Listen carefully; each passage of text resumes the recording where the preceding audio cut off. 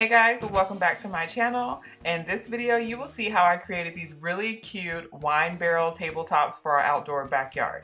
So, I purchased the wine barrels about 15 minutes from Napa. They were $40 a wine barrel. I got two of them. I also purchased a half whiskey barrel because I'm going to create a ice chest out of that one. And I picked up the round circular top from Ace Hardware store for $32.99.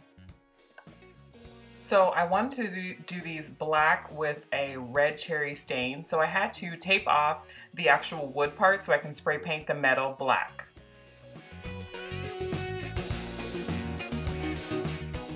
So this was the most time consuming part of the project. I had to do this for both of the barrels. Um, it took a little bit of time just to get everything kind of taped off. Once we did that, I use Rust-Oleum um, paint. It's paint and primer. I use a flat black. I'll have it linked in the description box below. Um, it sprayed really easy and I also do recommend this little cool gadget that's hooked to my spray paint spray paint can. Um, it makes spray painting so much easier. I use this wood stain. I'll have that linked also in the description box below. Um, I love how these turned out. The color was absolutely perfect. If you haven't noticed already, or I haven't told you guys, that we got our backyard um, string lights done over, and they are actually a cherry wood color, so they match really well. So once I was done staining, my husband decided he wanted to put bottle openers on the side of the wine barrels. He purchased these from Amazon, and they were really easy to put on. After we did that, we needed to stabilize the table actual tops. So I used a 2x4. We measured out uh, because there's like a little dip in the wine barrel. So we measured out how far we needed to cut. Once we got that cut, we wood glued and screwed it down.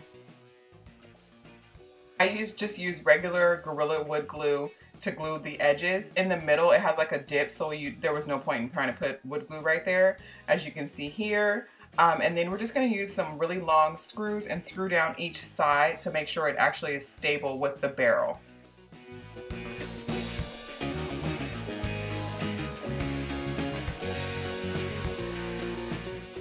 So once we got it screwed down, the 2x4 inside of the barrel, we went back and we kind of uh, eyeballed it, the tabletop. You can totally measure this out. We just eyeballed it so we can be done. We put one screw right down the middle of the center of our board and through the um, 2x4 to make it stable. And it's super stable and sturdy. I just painted it black to match the rest of the decor because the screw was silver.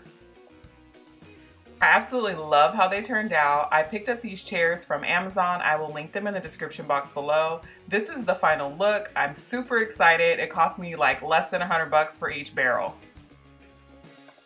Thank you guys so much for watching. Please make sure you hit the subscribe button. I truly appreciate it. You guys have a good one.